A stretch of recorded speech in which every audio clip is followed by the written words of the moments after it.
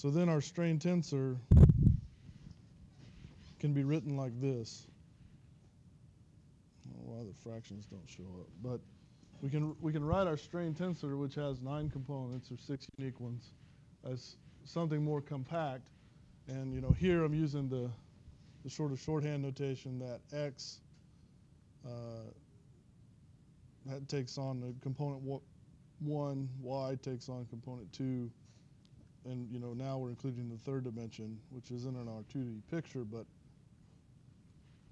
uh, then z would be component three, and so this is actually why that we like the, the, the we use the two, because then we can write this thing so compactly, right? Without the two there, we we couldn't write it so compactly, because so now if you just if you want say epsilon xx, which is also epsilon 1, 1, then we just choose, right? So in this equation, i goes from 1 to 3 and j goes from 1 to 3.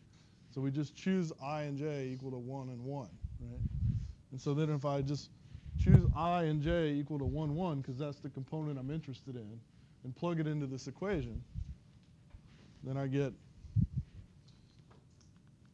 1 half partial u1 partial x plus partial u1, nah, partial x1, 1, right? Uh, and of course that's equal to 1 half times 2 partial u1 partial x1, uh, which is equal to partial u1 partial x1, which then going back to the, you know, that that's equivalent to partial ux partial x. Right?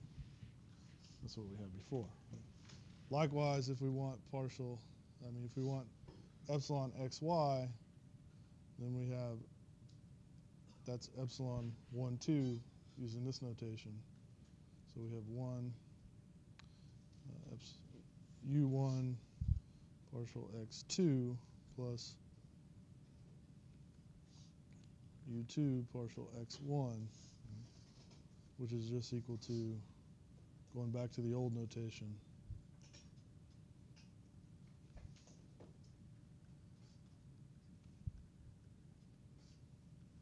Just like that. So everybody see how that works? So that's why we needed the, to define the shear strain as 2 uh, so that this would work.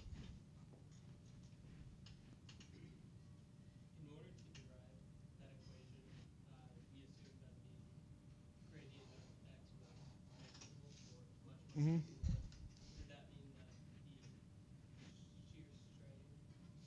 yeah, or EXS, would that be negligible? Delta UX? No, uh, no. What you don't see is uh,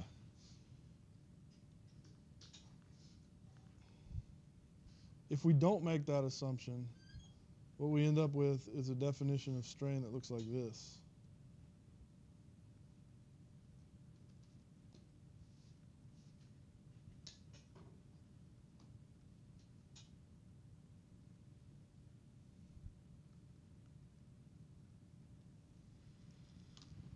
Okay. Uh, so what you don't see is, you know, that, that assumption of smallness gets rid of these terms. So if you ever take a graduate course in continuum mechanics, you define strain more rigorously, and these terms li live on, right? And this is a, it's because uh, it's because this this strain here is only valid under well small strains and no rotation. Uh, the, the curious thing about this this these these higher order terms actually cancel out any rotation, right? So if I, you know, if, if I take something and I stretch it, right? So I take my pen and I stretch it, and then I were to rotate it, right? The strain shouldn't change, right? So once I say I, I, I sort of do two motions, right? I stretch it and I compute the strain. Then I rotate it, I should still have the same strain. Right? So I haven't stretched it anymore. Well, it turns out without these higher order terms, as you rotate, right? Because you're as you rotate, you're changing these guys, right? U, the U's, right? rigid body rotation. you'd actually get a strain that that changes value as you go. Uh, let me see. I don't really. Uh,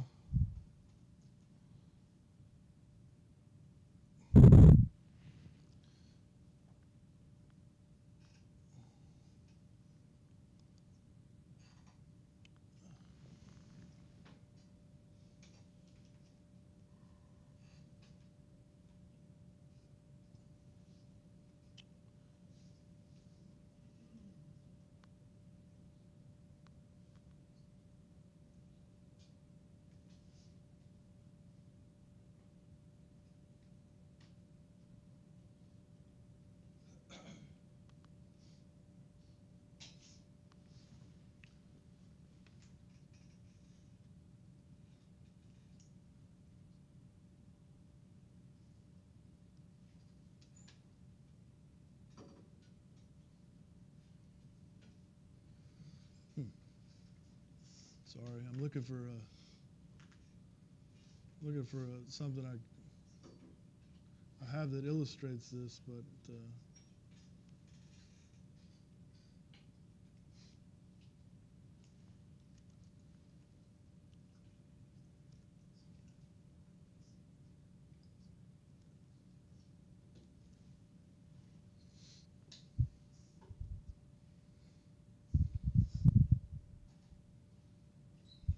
okay, so so here's our little unit cube, right? And up there I have little slider bars that represent the strain in the XX, YY, and, and the shear strain. So if I change it, uh, if I change, I don't know, maybe it'll blow it up a little bit here.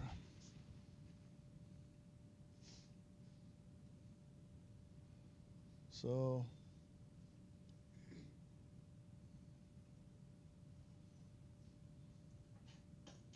Right, so clearly I'm straining the thing, right? And you see the strain values are changing, and I have two things here. I have the linear strain, that's the one we we just derived, okay? Then I have something called the green strain. Well, that's that nonlinear strain. That has those extra terms in it, okay? And you see they're very close to one another if all I'm doing is stretching it, right? Same thing if I if I stretch it in the y direction, right? The the terms are they're fairly close to one another. But now watch what happens. So if I rotate it. Now look again. I, at this point I'm just doing a pure rotation. I'm not stretching, right? So the strain is a measure of stretch, right? It shouldn't change under a deformation, a rotation. Look what happens.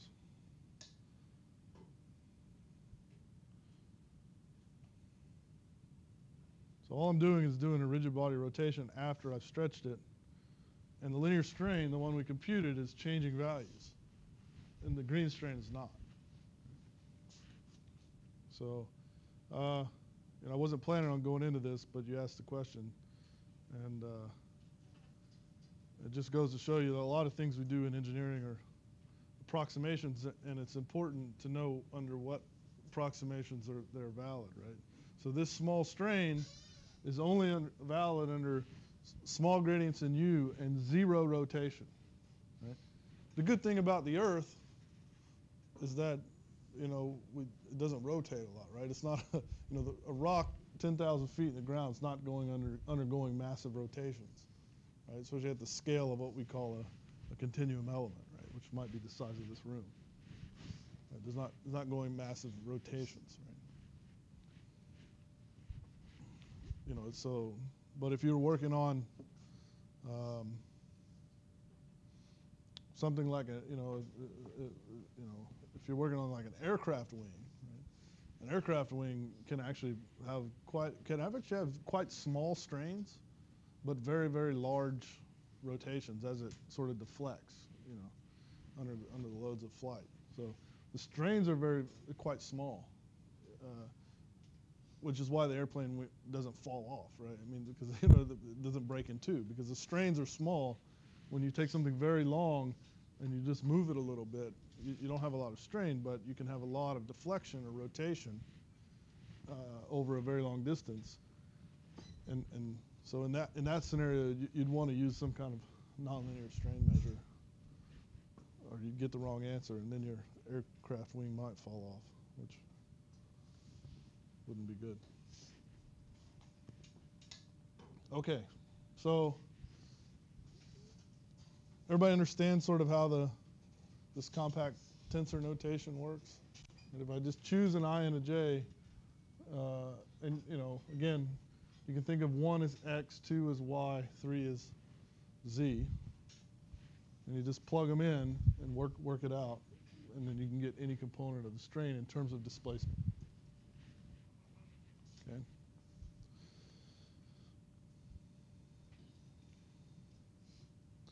So there's also something that we'll define as the volumetric strain.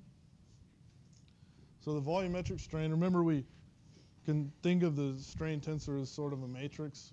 Does anybody know what the trace of a matrix is? Ever heard that terminology? Did we talk about trace of a matrix? So the trace of a matrix is just the sum of the diagonal entries. Okay? So the trace of the strain tensor is the sum of the diagonal entries.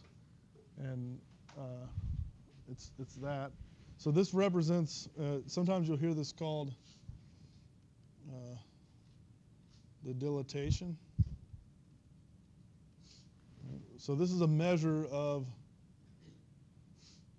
the, the sort of volumetric change, right? So if I have my little cube, and I apply some external loads to it, and the cube deforms into a smaller cube.